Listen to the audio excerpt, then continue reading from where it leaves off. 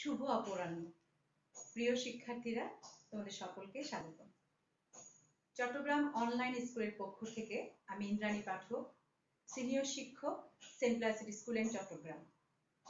Bangladesh বিশ্ব পরিচয় বিষয়ে নবম শ্রেণির শিক্ষার্থীদেরকে স্বাগতম জানাচ্ছি। আশা করি তোমরা ভালো আছো।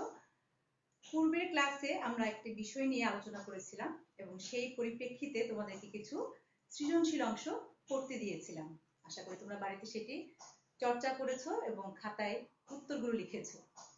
আজকে ঠিক একই অধ্যায়ের আরেকটি বিষয় নিয়ে আলোচনা করব। তার পূর্বে আমরা ছবিতে কিছু অংশ দেখব এবং সহজেই অনুমান করতে পারব আজকে আমরা কোন বিষয়টি নিয়ে আলোচনা করব। এসো, আমরা ছবি দেখি। লক্ষ্য করো, আমরা এমন কিছু অংশ দেখতে পাচ্ছি। একটা গাড়ি গাড়িটা উল্টে পড়ে গেছে। অনেক জনসমাগম। পরবর্তীতে দেখতে পাচ্ছি একটা দু তিনজন মেয়েকে কিছু পার হয়ে রাস্তা মানে সে কিন্তু স্বাভাবিকভাবে চলাচল করছে না। হ্যাঁ রাস্তায় দেখছি। আবার দেখছি যে দুটো গাড়ি দূরত্ব তাদের মাঝখানে কিন্তু খুবই কম। তারপর দেখতে পাচ্ছি একটা জেব্রা ক্রসিং এর মতো আমরা রাস্তা পারাপারের অবস্থা দেখতে পাচ্ছি। তারপর দেখতে পাচ্ছি একটা ওভারব্রিজ। তাহলে আমরা অতি সহজেই বুঝতে পারছি আজকে আমাদের আলোচনার বিষয়বস্তু কি। তোমরা ঠিকই ধরতে পেরেছ, আজকে আমাদের আলোচনার বিষয়বস্তু ষোড়শ অধ্যায়, বাংলাদেশের সামাজিক সমস্যা ও এর প্রতিকার। আর আমাদের আজকের পাঠ হচ্ছে সড়ক দুর্ঘটনা। আমরা জানি আমাদের বাংলাদেশ একটি সামাজিক সমস্যা পীড়িত দেশ। সবসময় সামাজিক সমস্যা পীড়িত দেশ আমি কখনোই বলতে চাই না বা আমরা কখনোই বলতে চাই না। তারপরও এমন কিছু অপ্রত্যাশিত আমাদের ঘটনা ঘটে যায় যেগুলো আমরা কখনোই মানে কাম্য নয় আমাদের জন্য। তেমন একটি সড়ক দুর্ঘটনা। তাহলে এসো, সড়ক দুর্ঘটনাটা কি আমরা একটু জানি। তার পূর্বে আমরা আমাদের কিছু অংশ আছে আমরা একটু দেখে নিই। তোমরা একটু ভালো করে খেয়াল করো।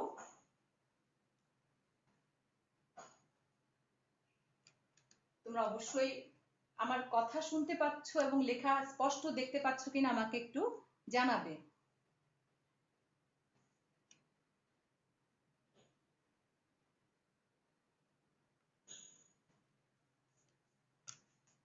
পূর্বের আলোচনার পরিপ্রেক্ষিতে আমরা কথা বলছিলাম সড়ক দুর্ঘটনা সম্পর্কে।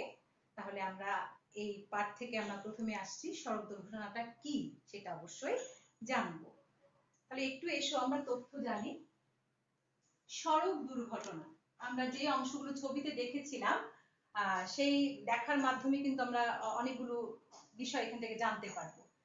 চালক, মালিক, ট্রাফিক, পুলিশ এবং রাস্তার ত্রুটি ও দুর্বলতা জনিত সড়ক কেন্দ্রিক যে দুর্ঘটনা, তাই সড়ক দুর্ঘটনা। আমরা সড়ক দুর্ঘটনাটা সম্পর্কে আমরা কি বা কাকে বলে, বললে কিন্তু আমরা মানে অনায়াসে আমরা বলতে পারব বা লিখতে পারব। ঠিক আছে? আমরা এই বিষয়টা সম্পর্কে জানতে পারলাম। পরবর্তীতে আমরা চলে যাই। কিছু তথ্য তোমাদের সামনে উপস্থাপন করছি। দেখো, বাংলাদেশে রাস্তাঘাট ও যানবাহন বৃদ্ধির সাথে সাথে দুর্ঘটনার হার অপ্রতিরোধ্য গতিতে বেড়ে চলেছে। বাংলাদেশ হাইওয়ে পুলিশের প্রকাশিত এক প্রতিবেদনে দেখা যায় দু সালে মোট সড়ক দুর্ঘটনা ঘটে চার হাজার একানব্বইটি।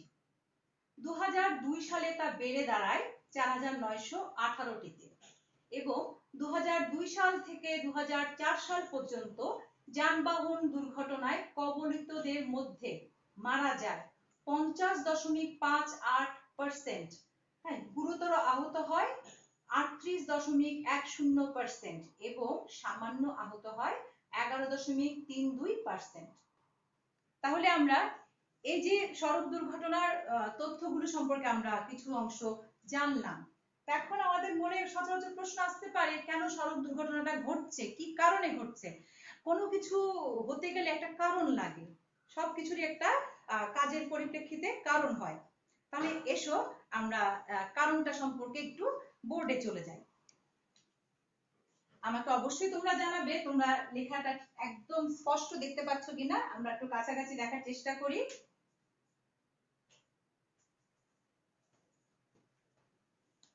আমরা দেখছি সড়ক দুর্ঘটনার কারণ। এখানে কিছু পয়েন্টস আকারে দেয়া আছে। বাংলাদেশে সড়ক দুর্ঘটনার কারণগুলো হলো এখানে আমি কতগুলো পয়েন্টস লিখে রেখেছি, এগুলো তুমি জাস্ট মনে রাখলে তোমার কিন্তু লিখতে সুবিধা হবে। অদক্ষ ও প্রশিক্ষণবিহীন চালক। দেখো, কোনো কিছু শিখতে গেলে আমাদের প্রথমে কিন্তু দক্ষতার প্রয়োজন হয়, প্রশিক্ষণের প্রয়োজন হয়। সেটা তুমি গাড়ির ক্ষেত্রে কেন বলবে? সেটা তুমি শিক্ষক বলো, ডাক্তার বলো, বিভিন্ন পেশার, প্রতিটি পেশার জন্য কিন্তু দক্ষতার প্রয়োজন আছে এবং প্রশিক্ষণের প্রয়োজন আছে, যেটা আমাদের এই বাংলাদেশের সড়ক দুর্ঘটনার কারণ বলে অদক্ষ এবং প্রশিক্ষণবিহীন চালককে নির্দেশ করছে। তারপর দেখতে পাচ্ছি আমরা কম বেতনে সনদবিহীন চালক নিয়োগ দান, অর্থাৎ কিছু কিছু আমরা যারা খুব সুবিধাবাদী মানুষ থাকে, তারা কম বেতনে সনদবিহীন চালকদেরকে কি চাকরিতে কাজ দিয়ে দিচ্ছে, অর্থাৎ গাড়ি চালাতে পারবে। এই জন্য কিন্তু সড়ক দুর্ঘটনা ঘটছে। তারপর দেখতে পাচ্ছি তরুণ গাড়ি চালক। অর্থাৎ যার বয়স গাড়ি চালানোর মতো উপযুক্ততা হয়নি। হ্যাঁ সে কিন্তু গাড়ি চালাচ্ছে এবং এইটার সাথে কিন্তু আমি উপরে এই সনদবিহীন এটার সাথেও কিন্তু এটা কি সম্পৃক্ত। তারপর দেখতে পাচ্ছি অতিরিক্ত মাল বোঝায় যাত্রী বোঝায় অর্থাৎ যে গাড়িতে আমি গাড়িটা চলবে সেই গাড়িটার মধ্যে অতিরিক্ত যদি যাত্রীর চাইতে জিনিসপত্র বেশি হয়ে যায়, তখন একে তো যাত্রী থাকবেই, তারপর আবার জিনিসপত্র, অনেক বেশি। দুটো যখন সেই গাড়ির একটা ধারণ ক্ষমতার বাইরে চলে যায়, তখন কিন্তু সড়ক দুর্ঘটনা ঘটে থাকে। তারপর দেখতে পাচ্ছি আমরা, নেশাগ্রস্ত গাড়ি চালক। সাধারণত আমরা জানি যে সড়ক দুর্ঘটনার একটা, এটাও কিন্তু বিশেষ একটা কারণ। আমরা যে কোনো ভালো কাজ বা যে কোনো কাজ, ভালো কাজ বলব কেন? আমরা কাজ, যে কোনো কাজ করতে গেলে কিন্তু মনোযোগ সহকারে কাজ করি। সেখানে যদি আমার রাতে ঘুম না হয় সেটাও কিন্তু এক ধরনের আমার একটা কি এই সড়ক দুর্ঘটনার কারণের মধ্যে পড়বে। তার উপরে যদি এই নেশাগ্রস্ত গাড়ি অর্থাৎ বিভিন্ন রকমের নেশা জাতীয় দ্রব্য পান করে তারা গাড়ি চালায়, তখন কিন্তু এই দুর্ঘটনাটা ঘটে থাকে। তারপর আমরা দেখতে পাচ্ছি, আসন সংখ্যার চেয়ে গাড়িতে যাত্রী সংখ্যা বেশি। ধরো তোমাদের আসন সংখ্যা হচ্ছে যে একটা বাসের মধ্যে চল্লিশটা সিট আছে। এখন আমার চল্লিশটা সিটের মধ্যে আমি যদি সেখানে ষাট জনের মানুষ বসাই এবং গাড়ির চালক, অতিরিক্ত হেল্পার সহ আর অনেকজন বেশি হয়ে যায়, তখন আমার গাড়ির তো একটা লোড নেওয়ার একটা ক্ষমতা থাকতে হবে। সেই ক্ষমতার বাইরে চলে যায় এবং গাড়ি তার নিয়ন্ত্রণ হারিয়ে ফেলে। সঙ্গে সঙ্গে সড়ক দুর্ঘটনা দেখা যায়। তারপর আমরা দেখতে পাচ্ছি, অযোগ্য ত্রুটিপূর্ণ গাড়ি চালকের হাতে তুলে দেওয়া। অর্থাৎ অযোগ্য ত্রুটিপূর্ণ গাড়ি, অর্থাৎ এই কথাটা এভাবেই বলতে হবে, অযোগ্য ত্রুটিপূর্ণ গাড়ি চালকের হাতে তুলে দেওয়া। অর্থাৎ গাড়িটা হচ্ছে যে ব্যবহারযোগ্য নয়, অর্থাৎ সেখানে অনেক যান্ত্রিক ত্রুটি রয়েছে। সেটা যদি আমি চালকের হাতে তুলে দিই, তাহলে তো কি দুর্ঘটনা ঘটবে এটা অবশ্যম্ভাবী। তারপর দেখতে পাচ্ছি, সড়ক ব্যবহার করার নিয়ম নীতি না জানা। কিছু রুলস অ্যান্ড রেগুলেশনস আমাদের অবশ্যই আছে। সবকিছু একটা নিয়ম শৃঙ্খলা আছে। সেই নিয়ম শৃঙ্খলা না জানলে কিন্তু এই দুর্ঘটনাটা হয়ে যায়। তারপর দেখছি অন্য মনস্কতা ও বিশেষ কারণ। আমাদের এই যে গাড়ির চালক কি করে? গাড়ি চালাতে গিয়ে বিভিন্ন গান বাজনা, গান বাজায়, তারপরে পাশের জনের সাথে কথা বলে মোবাইলে কথা বলে, এই অন্য মনস্কতার কারণে কিন্তু সড়ক দুর্ঘটনাটা ঘটে থাকে। তারপর দেখতে পাচ্ছি, বাজার স্থাপন। আমরা প্রায় সময় এখন খুব বেশি দেখতে পাই রাস্তায়, যেটা হচ্ছে যে একদম এলাকার মধ্যে বাজার স্থাপন করা হচ্ছে। রাস্তার উপরে যেটা ভ্যানে করে ঠেলা গাড়ি করে হ্যাঁ? নির্মাণ সামগ্রী রাস্তায় রাখা, বিভিন্ন মরিচ, হলুদ, আমরা যখন বিভিন্ন কাপ্তাই সড়কের মধ্যে যখন আমি একবার গেছি, তখন দেখলাম যে একদম রাস্তার মধ্যে তোমার মানে মরিচ শুকাতে দিয়েছে। এখন ওখানে তো গাড়ি চলাচল করছে, ছোট বাচ্চারা আছে। তখন কিন্তু এই ধরনের সড়ক দুর্ঘটনা ঘটে থাকে। অর্থাৎ পথচারী কিন্তু দুর্ঘটনায় পতিত হয় পতিত হয়। তারপর দেখতে দেখতে পাচ্ছি, জেব্রা ক্রসিং ওভারব্রিজ ব্যবহার না করা। দেখো জেব্রা ক্রসিং এর কতগুলো নিয়ম আমরা ছবিতেও দেখেছিলাম। তারপর আমরা ওভারব্রিজ থাকা সত্ত্বেও কিন্তু ঠিক ওই যে একটা মেয়েকে দেখলাম না আমরা, পার হচ্ছিল, সে কিন্তু ওভারব্রিজ পার হয়ে যেতে পারতো। সে না গিয়ে সে ফাঁকে দিয়ে কিন্তু চলে যাচ্ছিল। তারপর দেখলাম গাড়ির যান্ত্রিক ত্রুটি পরীক্ষা না করা। আমি একটা গাড়িতে যাব, সেই গাড়ি অবশ্যই আমার যান্ত্রিক ত্রুটি মানে যান্ত্রিক অবস্থা, যন্ত্রপাতিগুলো ঠিক আছে কিনা সেটা পরীক্ষা করতে অবশ্যই হবে। তারপর হচ্ছে সড়কের নকশা নির্মাণের ত্রুটি, অর্থাৎ যেসব সড়ক নির্মাণ করা হচ্ছে, সেই নির্মাণ সড়কটা কীভাবে করতে হবে, তার কতটুকু বিট থাকতে হবে, সেগুলো একটা নকশা আছে। সেই নকশা যদি নির্মাণের ত্রুটি থাকে, তাহলে কিন্তু এই দুর্ঘটনা ঘটে থাকে।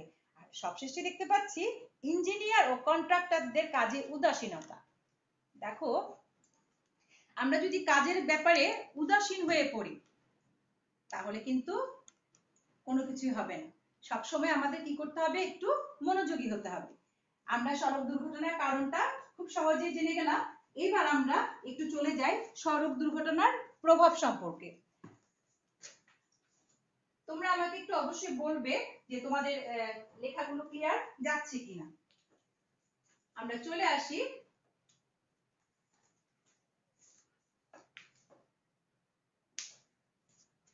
সড়ক দুর্ঘটনার প্রভাব। ঠিক আছে?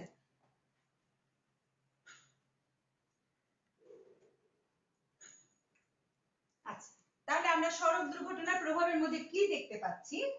আমাদের এই প্রভাবের মধ্যে প্রথম প্রভাব যেটা দেখতে পাচ্ছি, যে বাংলাদেশ হাইওয়ে পুলিশ বিভাগে প্রকাশিত প্রতিবেদন থেকে আমরা যেটা দেখতে পাই, সেখানে যারা দুর্ঘটনায় পতিত, যারা দুর্ঘটনায় পতিত, তাদের মধ্যে চব্বিশ পার্সেন্ট তোমরা সবাই খাতায় অবশ্যই লিখে নেবে লোকের বয়স পনেরো বছরের নিচে, ঠিক আছে? এটা যারা দুর্ঘটনায় পতিত, তারপরে এখানের মধ্যে আরও একটা দেখতে পাচ্ছি। উনচল্লিশ পার্সেন্ট লোকের বয়স ষোলো থেকে পঞ্চাশ বছরের মধ্যে। ঠিক আছে? তাহলে এই একটা আমরা সড়ক দুর্ঘটনার প্রভাব সম্পর্কে আমরা দেখতে পেলাম। তারপর আমরা দেখতে পাচ্ছি যেটা হচ্ছে এই দুর্ঘটনার প্রভাবে কারা মানে প্রভাবটা কাদের উপর পড়ে? উপার্জন। তোমরা খাতায় সঙ্গে সঙ্গে লিখে নাও। উপার্জনক্ষম ব্যক্তি। দেখো উপার্জনক্ষম ব্যক্তি, আমি যাদের কথা বলছি, এই উপার্জনক্ষম ব্যক্তি কারা জানো? যারা বাবা আছেন, মা আছেন হ্যাঁ এরা যখন বিভিন্ন জায়গায় চাকরির জন্য যায়, তো চাকরির জন্য যেতে তাদের যখন যায়, তখন কি হয়? যে কোনো কারণে সড়কে তাদের দুর্ঘটনা ঘটলে তখন কি দেখা যায়? তারা কেউ আহত হয়, নিহত হয়। তার সেই পরিবার ভীষণ ক্ষতিগ্রস্ত হয়। আর ক্ষতিগ্রস্ত হলে কি অবস্থা হয়? সেই পরিবারটা আর্থিক, মানসিক, সামাজিক সব দিক থেকে কিন্তু ভেঙে পড়ে। ঠিক আছে? তারপর আমরা দেখতে পাচ্ছি, সেই ব্যক্তি পঙ্গু হয়ে যায়। কখনো পঙ্গুত্বের শিকার হয়। আর পঙ্গুত্বের যখন শিকার হয়, তখন আমরা কি পাই? সে শারীরিক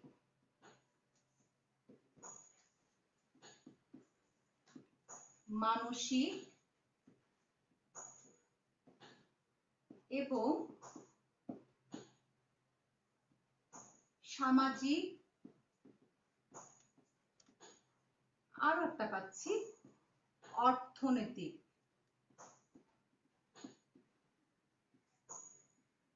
অর্থনৈতিকভাবে কি হয়? ক্ষতিগ্রস্ত হয়। খুব ক্ষতিগ্রস্ত ক্ষতিগ্রস্ত হয়, ঠিক আছে? তখন এই ক্ষতিগ্রস্ততার জন্য কি দেখা যায়? এই ক্ষতিগ্রস্ততার জন্য তাদের মধ্যে এক ধরনের হতাশা দেখা যায়। কি দেখা যায় আমরা দেখতে পাচ্ছি? হতাশা। আর হতাশা থেকে কি পাই আমরা? এই যখন হতাশা হয়, তখন কি হয়? তারা মাদকাসক্ত হয়ে পড়ে। হ্যাঁ মাদকাসক্ত হয়ে পড়ে। তাদের মধ্যে এক ধরনের চরম বিপর্যয় দেখা যায়। তারপরে তারা অর্থনীতির সম্মুখীন হয়, সামাজিক সম্মুখীন হয়। তারপর হয়, দেখছ দ্রব্যমূল্যের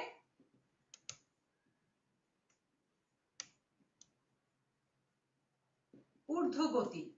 আমি ঊর্ধ্বগতিটা একটু বলে দিচ্ছি, এটার সাথে অনেক কিছুই জড়িত।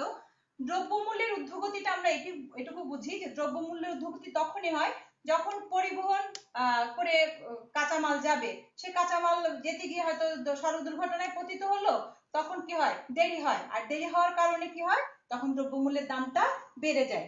এবং পরবর্তীতে যেটা হয়, সেটা কি হয়? আমরা দেখতে পাচ্ছি যে চাক, একটা চাকরির যে কর্ম ঘণ্টা সূচি আমরা দেখি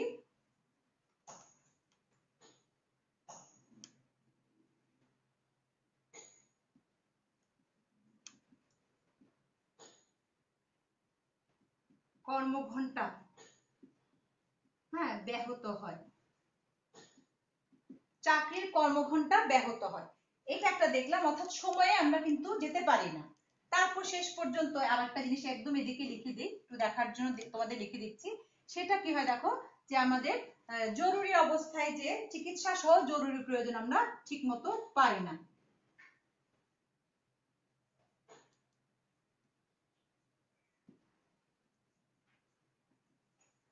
জরুরি প্রয়োজন, বাধাগ্রস্ত হয়।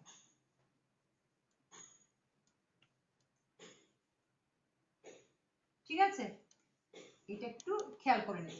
তাহলে আমরা কিন্তু সড়ক দুর্ঘটনার একটা প্রভাব আমরা জেনে গেলাম।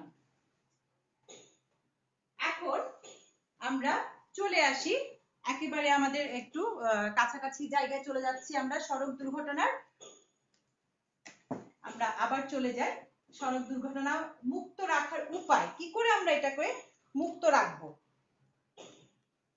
আমরা দেখো, একটু দেখতে পাই তোমাদের চেষ্টা করছি তোমাদের দেখানোর জন্য।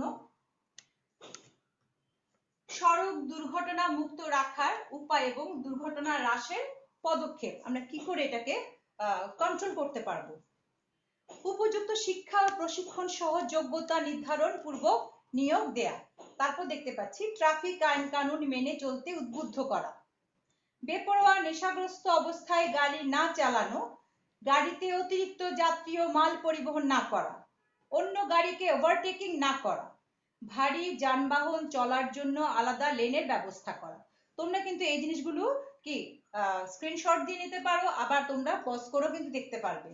তারপর দেখতে পাচ্ছি সকল সিগন্যাল পয়েন্টে বৈদ্যুতিক সিগন্যাল স্থাপন করা, আধুনিক ও মানসম্মত ড্রাইভিং ট্রেনিং প্রতিষ্ঠান স্থাপন। ঝুঁকিপূর্ণ রাস্তা কালভার্ট ব্রিজ সংস্কার ও পুনর্নির্মাণ। গাড়ির ছাদে যাত্রী ও মালপত্র বহন না করা। গাড়ির যান্ত্রিক ত্রুটি পরীক্ষা করে গাড়ি বের করা। আমরা কিন্তু পূর্বে কারণগুলো একবার বলেছিলাম, এটা এটা নিয়ন্ত্রণ করছে। আইন প্রয়োগকারী সংস্থাকে দায়িত্ব পালনে সচেতন করা। জনসচেতনতা সৃষ্টির লক্ষ্যে প্রচার মাধ্যমকে ভূমিকা পালনে উৎসাহিত করা। আমরা দেখতে পাচ্ছি এখানে তারপর আর কিছু অংশ আমরা একটু দেখব।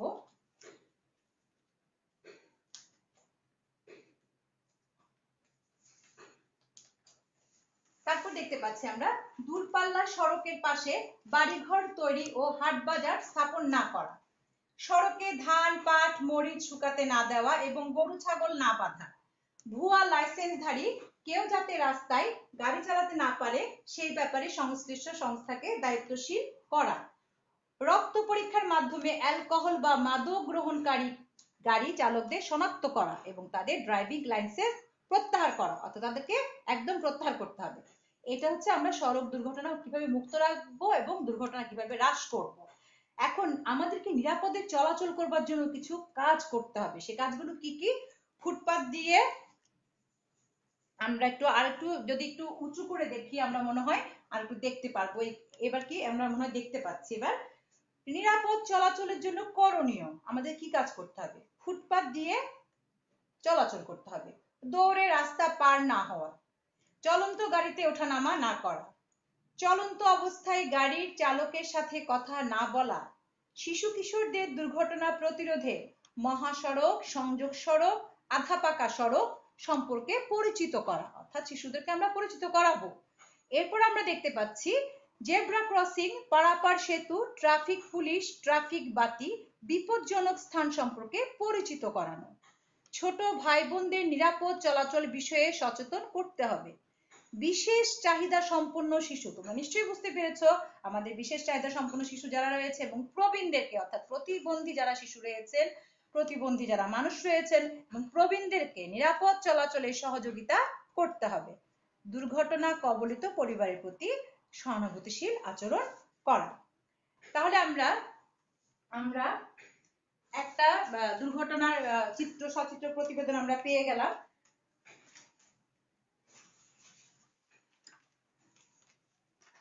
আমরা মোটামুটি একটা ধারণা পেয়েছি যে সড়ক দুর্ঘটনাটা কি এবং সড়ক দুর্ঘটনার আহ, কি অবস্থাটা যাচ্ছে সেটা আর যে যে বিষয়টা আমরা খেয়াল করলাম এখানে সড়ক দুর্ঘটনা কীভাবে হ্রাস করা যাবে সড়ক দুর্ঘটনার প্রভাবে কি হলো সড়ক দুর্ঘটনার কারণটা কি আমরা জানলাম।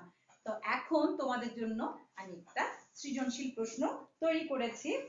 আশা করি তোমরা সেই বিষয়টি যে গত ক্লাসের মতো এবারও এই অংশটা তোমরা বাড়িতে বসে অবশ্যই চর্চা করবে।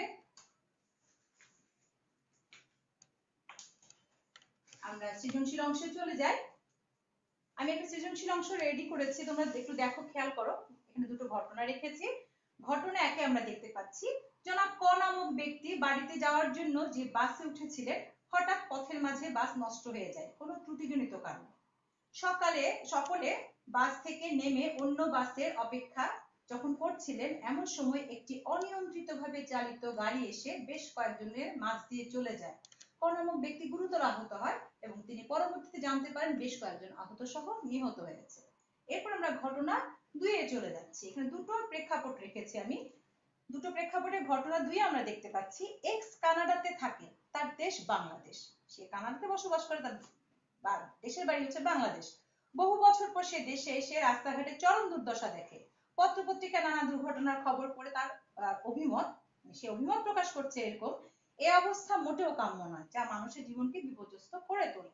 আমরা দুটো একটা স্টেম থেকে আমরা দুটো ঘটনা পেলাম উদ্দীপক থেকে দুটো ঘটনা পেলাম। সেই ঘটনার পরিপ্রেক্ষিতে আমাদের প্রশ্নটা আসছে এরকম, বাংলাদেশের হাইওয়ে পুলিশের প্রতিবেদন অনুসারে দু হাজার এক সালে বাংলাদেশে কয়টি সড়ক দুর্ঘটনা ঘটে? আমরা কিন্তু তথ্যটা জেনেছি, আমরা অবশ্যই পারব। যে মান হচ্ছে এক, আমরা সৃজনশীলে অবশ্যই মানটা জানি, এক, দুই, তিন, চার, টোটাল নাম্বার হচ্ছে আমাদের দশ। আমরা দুই নম্বরে যাই। সড়ক দুর্ঘটনা বলতে কি বোঝায় ব্যাখ্যা করো? স্বাভাবিক আমরা ব্যাখ্যা করতে অবশ্যই পারব। ঘটনা একে উল্লেখিত কোন সমস্যাকে ইঙ্গিত করে ব্যাখ্যা দাও অর্থাৎ ঘটনা একে উল্লেখিত এটা কোন সমস্যাকে চিহ্নিত করতে পারছে আমরা অতি সহজে লিখতে পারব। তারপর আমরা দেখতে পাচ্ছি ঘটনা এক এবং ঘটনা দুই এর প্রেক্ষাপট চিত্রের সমাধানে তোমার পঠিত অংশ থেকে পদক্ষেপ সূচি বিশ্লেষণ করো। অর্থাৎ তুমি এটার জন্য কি রকম পদক্ষেপ নিতে পারবে সেটা বিশ্লেষণ করবে এবং ধারণাটা তুমি খুব সুন্দর করে যুক্তি সহকারে লিখতে পারবে। তাহলে আমরা মোটামুটি একটা ধারণা পেয়ে গেলাম। আমাদের ক্লাস যেটা হয়েছে, আমরা সময়ের মধ্যে নিয়ে আমরা চেষ্টা করেছি ক্লাসটা শেষ করবার জন্য। আমরা বাংলাদেশের সামাজিক সমস্যা সেই সামাজিক সমস্যার একটা চরম বিশৃঙ্খল রূপ আমরা কি দেখেছি, সড়ক দুর্ঘটনা। সেই সড়ক দুর্ঘটনাটা কি জেনেছি, সড়ক দুর্ঘটনার কারণটা জেনেছি, সড়ক দুর্ঘটনার আমরা এর প্রভাব জেনেছি, সড়ক দুর্ঘটনার কীভাবে আমরা মুক্ত রাখব এবং কীভাবে হ্রাস করব এবং আমরা চলাচল কীভাবে করব সেই সম্পর্কে জেনেছি। আমরা কোন কোন নিয়মগুলো মানবো, কোন কোন নিয়মের প্রতি শ্রদ্ধাশীল হব, আমরা এখানে আইনের প্রতি শ্রদ্ধাশীল হব এবং নিজেদেরকে সচেতন করব। এই বিষয়গুলো আমরা খুব মনোযোগ সহকারে বিভিন্ন পয়েন্টস এর মাধ্যমে এখানে আলোচনা করার চেষ্টা করেছি। তোমরা বাড়িতে বসে অবশ্যই আলোচনা অংশগুলো দেখবে এবং সৃজনশীল অংশটা বাড়িতে অবশ্যই অনুশীলন করবে। তো তোমাদের জন্য অনেক শুভকামনা। তোমরা ভালো থাকবে, সুস্থ থাকবে। এই বই পরিবেশের সাথে মানিয়ে তোমরা পড়াশোনা করছ। তোমাদেরকে এই জন্য আরও আবার আমি অভিনন্দন জানাচ্ছি এবং তোমরা ঠিক মতো খাওয়া দাওয়া করবে, ঘুম যাবে। তোমাদের খাওয়া দাওয়া লেখাপড়া পাশাপাশি তোমরা কি করবে? তোমাদের কোনো জানা কোনো কাজ থাকলে সেটাও করবে। আর সবসময় হাত পরিষ্কার করবে, চোখে মুখে হাত দেবে না, আর বাবা মাকে কাজ অবশ্যই সহযোগিতা করবে, আর প্রতিদিনের পড়া প্রতিদিন শেষ করবার চেষ্টা করবে। ভালো থেকো, সুস্থ থেকো, এই পর্যন্ত। ধন্যবাদ।